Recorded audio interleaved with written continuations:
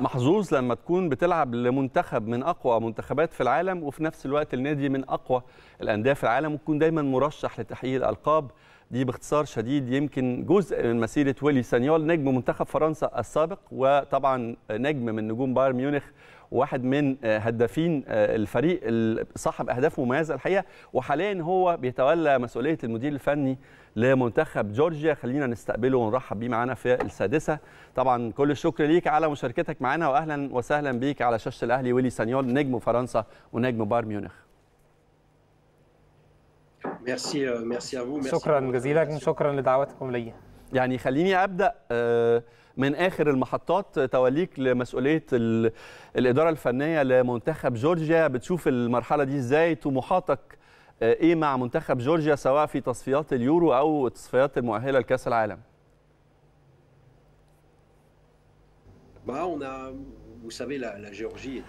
تعلم أن المنتخب الجورج الجورجيا ليس بفريق كبير على المستوى الدول الأوروبية في عالم كرة القدم.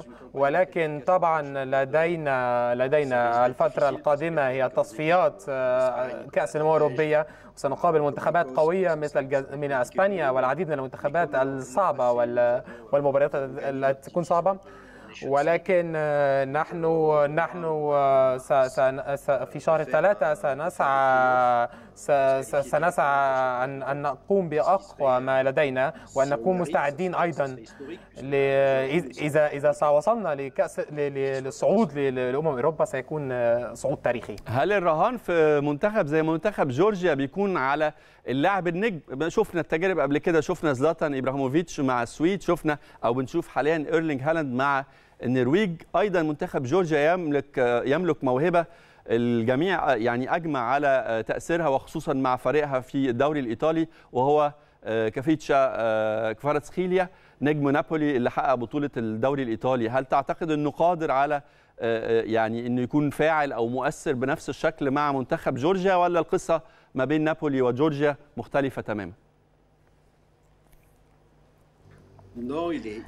لا لا هو لاعب رائع لاعب رائع. أيضا ويؤدي بشكل رائع. أيضا معنا ليس فقط مع مع نابولي. هو هو لديه العديد من من الوقت لكي يتطور أكثر وأكثر ونحن اخترناه لأنه لاعب مؤثر. ونحن نشجعه نشجعه أن ان يستمر في العمل بقوة لكي لكي يستمر في التقدم وكي يستمر في تحسن مستواه. ونعلم أن منتخب مثل منتخب جورجيا يوجد يوجد لاعب لاعبين رائعين كما كنا خيليا. ولكن أعتقد أن في الوقت الحالي أن منتخب جورجيا الآن لديه أيضا العناصر الجيدة وفي أوروبا ظهرت بشكل قوي. هل كنت مع أو ضد بقاء كفاراتسخيليا في فريق نابولي؟ كتير أو كتير من التقارير تحدثت عن رغبة عدد كبير من من الأندية الكبيرة في أوروبا في ضم كفاراتسخيليا الموسم الأخير أو موسم الانتقالات الأخير. هل كنت مع فكرة رحيله لنادي أكبر لاسم أكبر يساعده على التألق ويساعده على تطوير مستواه ولا كنت مع فكرة بقائه في نابولي والحفاظ على النجاحات اللي حققها الموسم الأخير؟ هذا الشيء يجب عليه هو من يقرره. هو هو هو الأدرى ان أن يرى لمستقبله وكاريره في المهني كلاعب كرة قدم.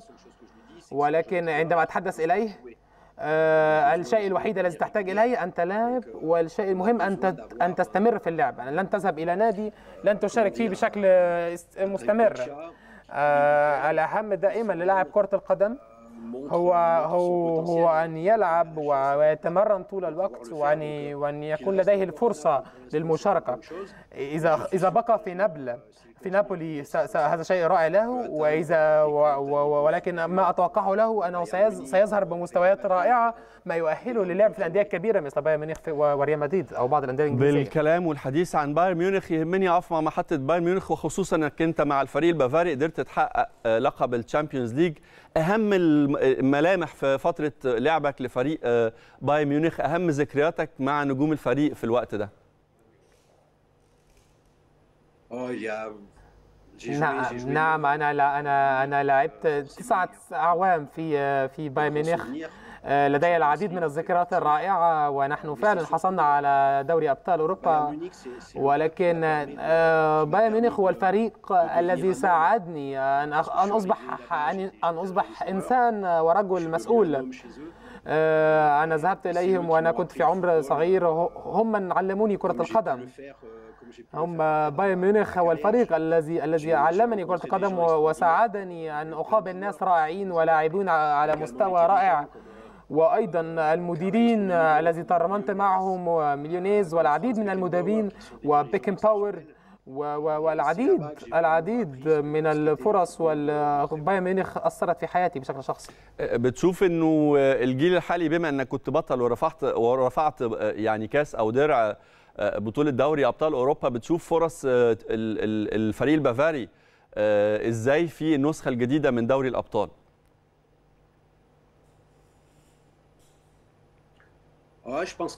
اعتقد ان البايرن هو مع مع مانشستر سيتي وريال مدريد هم واحد من أفضل من ثلاث أو أربع فرق في العالم.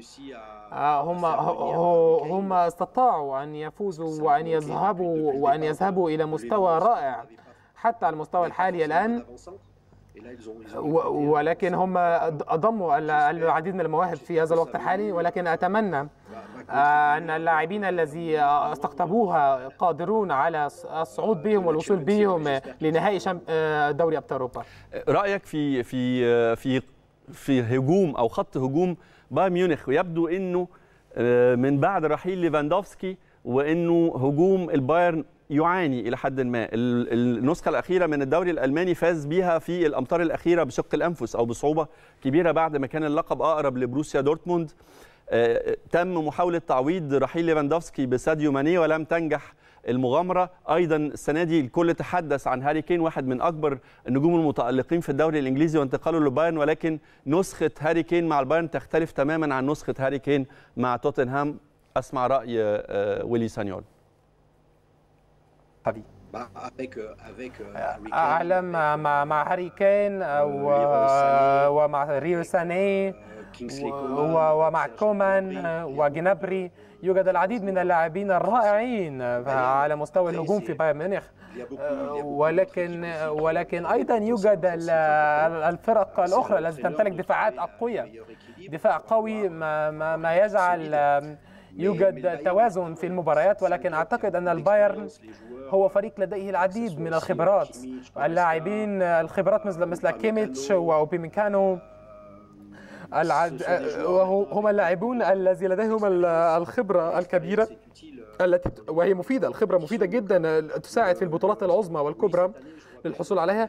ولكن أعتقد ان ان ان, أن هذه السنة أعتقد أن بايرن ميونخ سيذهب على الأقل قبل النهائي يمكن يعني بمناسبة إحنا مستمرين في الكلام عن بايرن ميونخ كان ليك تجربة تدريبية مع واحد طبعا من أهم الأسماء في عالم التدريب في الوقت الحالي هو كارلو أنشيلوتي. اشتغلت معاه كمساعد في بايرن ميونخ. نمره واحد عايزك تكلمني أكتر النقاط اللي أنت استفدت فيها من خبرات مدرب بحجم أنشيلوتي وده كان تأثيره عليك بعد كده لما اتجهت للعمل كمدرب. مع كارلو آه مع كارلو انشلوتي أعتقد أنها كانت واحدة من أفضل المقابلات لي في في في عالمي في كرة القدم. لقد عملت معه لبعض الشهور. ولكن رأيت فيه كم هو مدير رائع ومدير ومدرب رائع. يستطيع أن يؤثر على مستوى اللاعبين. هو هو هو هو شخص رائع بالنسبة لنا. وهو أيضا أنا تعلمت منه الكثير. كل يوم كنت أتعلم منه شيء جديد. في كيف يتعامل مع الفريق؟ كيف تدير فريق؟ كيف تتعامل مع اللاعبين ذو خبرات واللاعبين الصغار في السن؟ هو هو هو هو كان لي كان أثر في تاريخي في تدريبي. من الأسماء الآتي ذكرها يعني كارلو أنشيلوتي بيب جوارديولا يورجن كلوب. وخليني أقول أنطونيو كونتي مثلا. مين المدرب الأفضل أو مين المدرسة التدريبية الأفضل من وجهة نظر ويلي سانيول؟ آه، المدرب المدرب الأفضل هو المدرب الذي لديه أفضل فريق. سأكون صريح معك في هذا. آه، يوجد كالع- آه، مدربين آه، رائعين ومدربين قادرين على الحصول يحصلوا على ألقاب كبيرة في ال Champions League وفي بطولات مع المنتخبات القومية. ولكن هم فعلا مدربين كبار ولكن هم أيضا ولديهم اللاعبين الرائعين. يوجد يوجد اختلاف من كل مدرب ومن طريقته. و- و- و- ووجهة نظره ولكن الفريق الذي يكسب هو الذي يمتلك دائما المدرب الجيد لأن لأن النتيجه النتيجة المدرب الذي يفوز هو هو المدرب الأفضل من وجهة نظري. آه، ايا آه، هم هم يوجد الحاجات الاشياء ال- ال- المشابهة في بعض المدربين ولكن الفوز هو العامل الحاسم. لكن بالتأكيد أنت اتأثرت أو بالنسبة لك وأنت بتاخد تجربة التدريب في رول موديل في مثل أعلى أو في قدوة أو في حد أنت بتستلهم طريقك وأسلوب تدريبك منه. حتى لو ما كانش بيدرب حاليا.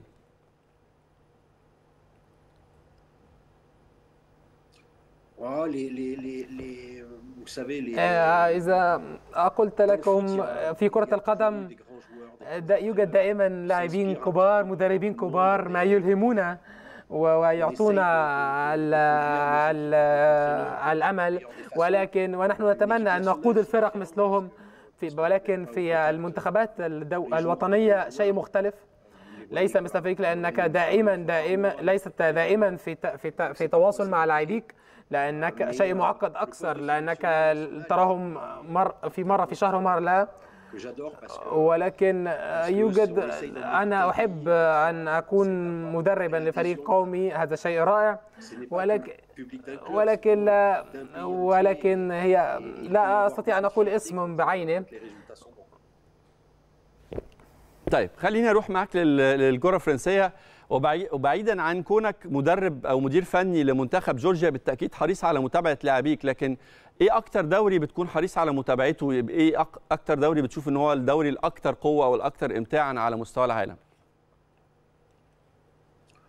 La Ligue en Europe. أعتقد في في الدوري الأقوى في أوروبا هو سأقول هذا الدوري الإنجليزي. الدوري الإنجليزي هو. هو يوجد عدد كبير من المدربين وال وال وال واللاعبين الرائعين القادرين على الفوز بالبطولات. لكن إذا تحدثنا في أسبانيا يوجد فقط الريال وبرشلونة في ألمانيا بايرن وبروسيا دورتموند وفي فرنسا لا يوجد إلا باريس سان جيرمان. آه, ولكن في إنجلترا يوجد مانشستر سيتي يوجد ليفربول أرسنال آه، تشيلسي أحيانا توتنهام أحيانا مانشستر يونايتد. يوجد العديد من الفرق الكبيرة القوية لكن لذلك المنافسة والمستوى المنافسة أكبر بكثير في إنجلترا.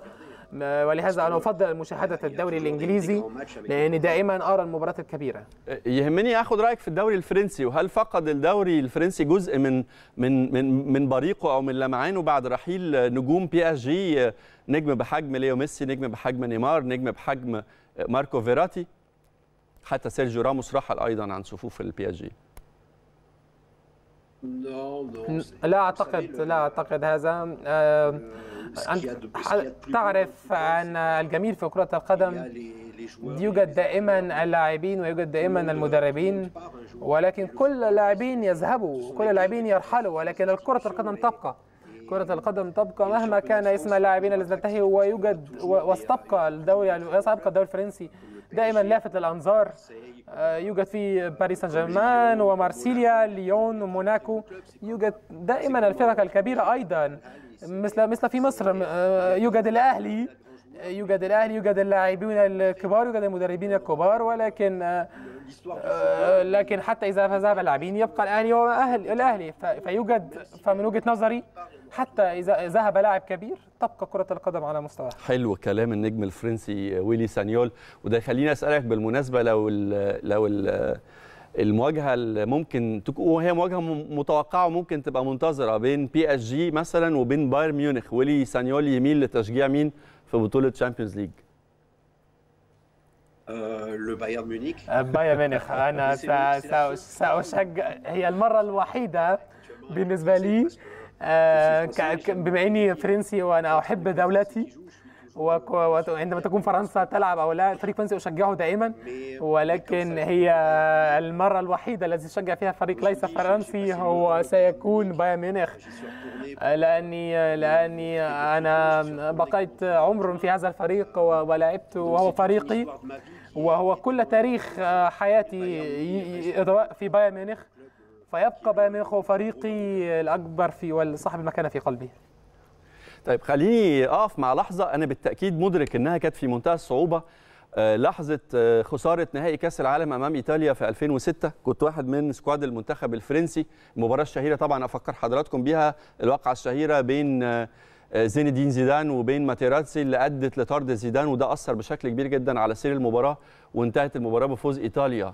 بعد نهاية المباراة إزاي استقبلتوا خسارة اللقب اللي كنتوا الأقرب ليه في بطولة بحجم بطولة كأس العالم؟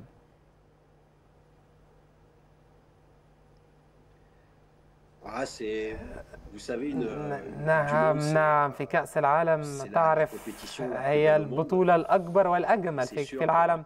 ومن المؤكد عندما تكون في المباراة النهائية وتخسر بعد المباراة كان كان يوجد العديد من الحزن والغضب. الشديد في غرفة الملابس لأن لأن هدفنا هدفنا كان التضحية بكل الطرق من أجل الفوز بهذه البطولة. ولكن طبعا مر أكثر من 17 عام مروا على هذه البطولة. ولكن ولكن, ولكن ليس لدي الحزن ولا ولا ولا, ولا إحساس سيء ولا ولا إحساس بالندم الآن. ولكن لأننا بعدها استطعنا اللعب بطريقة رائعة. ولكن الصورة التي تبقى في عقلي دائما وفي قلبي. هي هي هي الصورة ان أتمنى دائما أن نصعد لكأس العالم ونفوز بكأس العالم.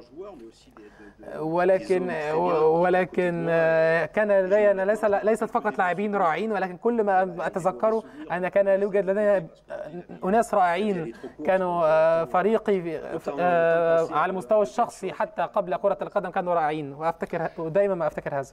إزاي تعاملتوا مع زين الدين زيدان في غرفة خلع الملابس بعد المباراة؟ هل كان في نوع من أنواع الدعم؟ هل كان في نوع من أنواع الفضول لمعرفة إيه اللي حصل؟ هل كان في توجيه لوم لزين الدين زيدان بما إنه الواقعة دي كانت اللي أثرت على يمكن فرص فرنسا في الفوز بالبطولة؟ إزاي تعاملتوا مع نجم كبير بحجم زيدان؟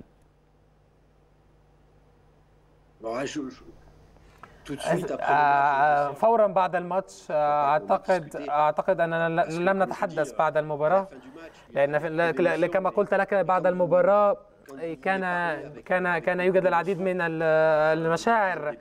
ولكن إذا تحدثت وأن لدي مشاعر سوف تقول أشياء ليست في محلها ولكن كان لدينا الغضب طبعا ومن الغضب والحزن الشديد. ولهذا فضلنا أن لا نتحدث ولم أتحدث مع زيد زيدان بعد المباراة ولكن ولكن إذا إذا أتحدث الآن بعد الكثير من الخبرة في ذا الوقت حين إذا أتحدث مع زيد زيدان سوف أقول له أنا كان لدي الحظ كان لدي الحظ أن ألعب جنب بجانبه هو اللاعب الأفضل الذي لعبت بجانبه في تاريخ كرة القدم. هو هو أفضل من الجميع. هو أنا أنا أرى أنا أشكره أشكره على أشكره على ما قدمه لكرة القدم بفضله. أنا رأيت شيء أشياء رائعة في كرة القدم. بشكرك طبعا نجم بايرن ميونخ ونجم منتخب فرنسا ويلي سانيول على مشاركتك معنا. وإذا ما قابلت زيزو قريبا يعني وجه له تحية كبيرة جدا من واحد من الجماهير العاشقه لفن زيدان واحد بشوفه من أروع الحقيقة اللي لمسوا كرة القدم. بشكرك شكرا جزيلا ويلي سانيول كل التوفيق للبايرن في بطولة Champions League كل التوفيق لمنتخب فرنسا.